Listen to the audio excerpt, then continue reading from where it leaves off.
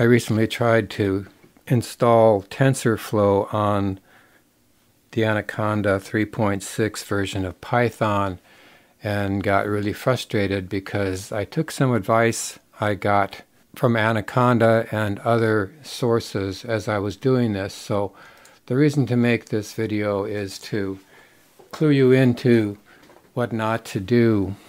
The first slide here shows the advanced installation options and when it comes up, the add anaconda to my path environment variable will not be checked. And if you check it, it'll say this is not recommended. However, when I followed this advice, I found that it was basically impossible to install TensorFlow correctly. So here you want to go against the advice. Um, they do say it may affect some other things, uh, there are sometimes people apparently run different versions of Python, and maybe there are some other things. But if you want TensorFlow, I would say you need to do this particular option. The next thing you'll find when you go to tensorflow.org for installing on Windows is you will come to this thing here that says uh, once you've got Anaconda installed, um, start your command terminal at your cmd.exe, which you can bring up um, with the find on the Windows. Uh, and it says run these programs. Well, there is no such thing as pip3, so that doesn't work. So what actually does work is following these instructions where you say, okay, you open up your command.exe and you do a cd backslash to get to the root directory. And then type in conda create dash n tensorflow pip python equals 3.6 not 3.5 and then you do the activate tensorflow and you should see the prompt switch to tensorflow.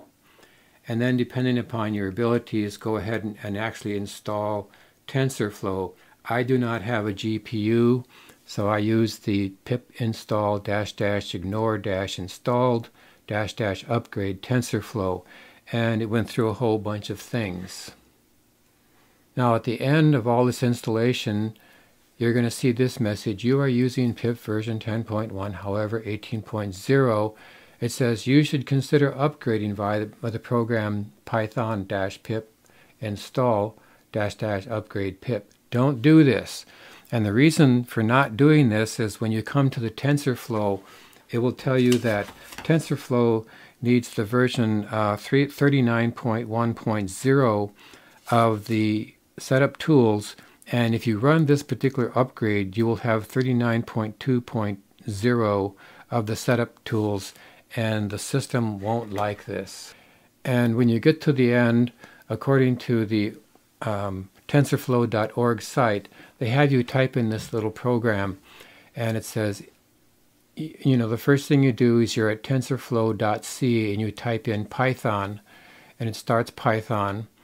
And then you, you want to go, you see the triple arrows and you say import TensorFlow as TF, hello equals tf.constant hello, session equals uh, tf.session open and close paren. Now, I did this wrong.